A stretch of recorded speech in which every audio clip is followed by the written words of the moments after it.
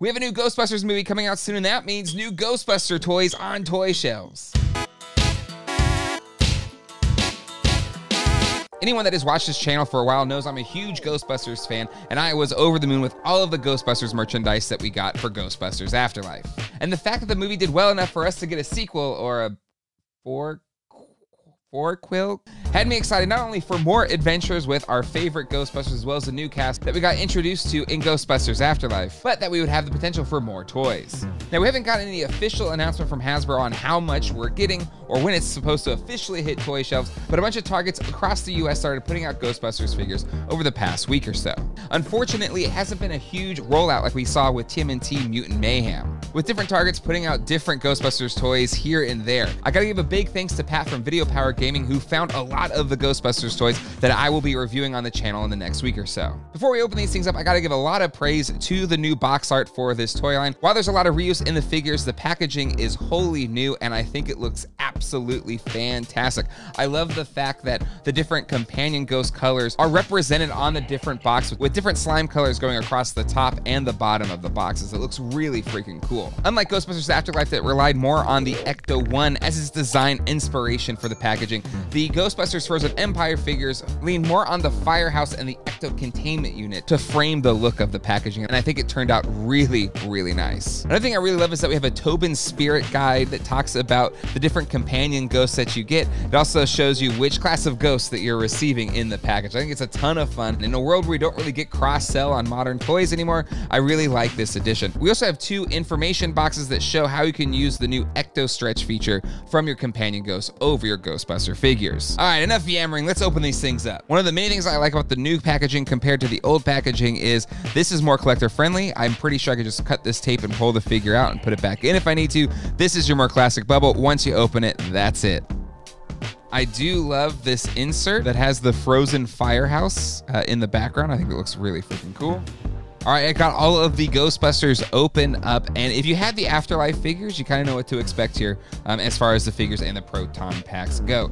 Now, both Callie and Phoebe Spangler use the Lucky body from Ghostbusters Afterlife. The main differences being Lucky has a black belt, and both Callie and Phoebe Spangler have the gray belt. They also have Spangler name tags, and Lucky didn't have a name tag on her suit. The Trevor figures are nearly identical, the main difference being the paint is slightly different, and the new Frozen Empire Trevor has a Spangler name tag where his Afterlife version did not. So you could get away with not getting another Trevor figure, uh, but there is a slight enough difference that, I don't know, crazy person like me would still want to have the Frozen Empire version of this Trevor. And then old Gary Grooberson, he utilizes the classic 84 Ghostbusters body. The main differences being, of course, a different head sculpt. The undershirt is painted black, whereas the classic 84 Ghostbusters did not have that painted in black. And he has a Gruberson uh, name patch, which is a lot of fun. Uh, the proton packs are identical to what we got with in the Afterlife figures.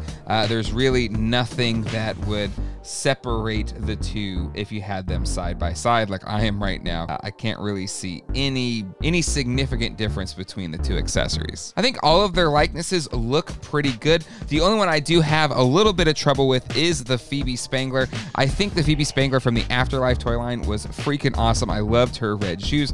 Now, of course, she's grown up, so I totally get that she would have a different figure uh, versus the one that we got with Ghostbusters Afterlife. It's just something about the head sculpt, the hair. The neck looks a little too long, um, but I think the Phoebe figure that we got with Afterlife is a lot more fun and connects more to the character. Now, the big difference between the previous toy lines and this new one are the companion ghosts, and I gotta say, without even trying their Ecto Tech Stretch feature, I love the colors. They really pop, um, and I think, you know, they definitely understood the assignment with these companion ghosts. We've got a Slimer figure, we've got Bonesy, who goes with Phoebe. Definitely seems like it's inspired by the Bad to the Bone ghost that we had the original Kenner RGB line. And then we've got Pukey, who, you know, clearly is puking out something. Uh, he looks really gross. He comes with Grooberson. Um, and then we have Possessor, uh, who comes with Callie. Uh, it looks kind of like either just a gross trash bag or a gross onion or something like that. Uh, but I love the colors. I love the designs. But let's see how the actual feature works on the figure. Um, so I'm going to try out Trevor here. And while it does stretch over the figure, you can't see through it.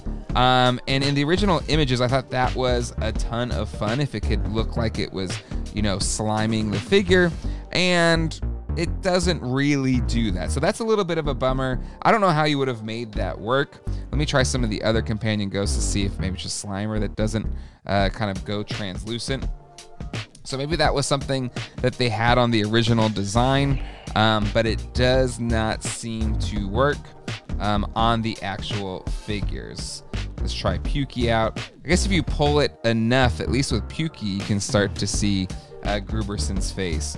Um, so let me try that again with Callie. Let's try and stretch out Pukey. You can kind of see Callie there, but you really have to stretch him out, and I would worry about like ripping um, the companion ghost. But maybe that's the ecto technology, uh, is that it won't rip. Um, uh, it's tougher with the other ones. I think Pukey works the best in terms of uh, being able to see uh, through the rubber like it's actually being slimed.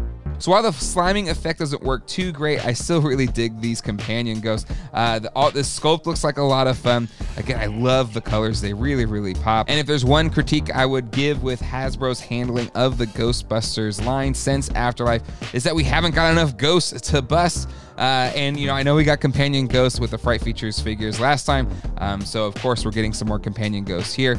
Do I wish we had more just standalone ghost figures? Absolutely. Um, but I do think these companion ghosts that we got with the figures look really, really fun. Uh, if you remember last time, the proton packs attach in exactly the same manner.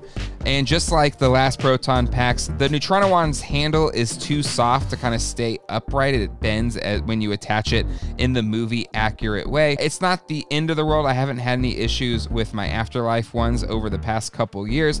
Um, but in general, I think the figures look better uh, holding their Neutrona wand. And since they're using the same sculpts that we got in the Afterlife Fright Features toy line, all of these figures scale with your original Kenner vehicles and playsets and also have the classic Kenner size foot peg holes uh, so they can work with any of the foot pegs that are on the original RGB Kenner vehicles and playsets. So now that I've opened the human figures that we've gotten so far in the Frozen Empire Ghostbusters toy line, I gotta say that I'm really pumped they continue to use that figure style that we got in Afterlife and I do really enjoy the companion ghost even if it doesn't work as well as advertised on the packaging. My grade for these figures would go up a whole nother level if we continue to fill out the roster that includes Lucky, Podcast, as well as the OG Ghostbusters would also be awesome to get Janine in there as well. Who knows what is going to happen with this toy line in the future. I'm thankful we got this wave, but my true opinion of this rollout for Frozen Empire will be what other figures they release to support the film. All of that being said, I absolutely love these figures and they get the Geek Dad Life buy rating. Even though there's a lot of sculpt reuse, I do like the new head sculpts. We've gotten some new characters that we didn't get with the other toy line. Definitely hit the subscribe button and the bell icon. I intend to review all of the main releases for Frozen Empire, so definitely stay tuned for those future videos. And until next time, hasta luego,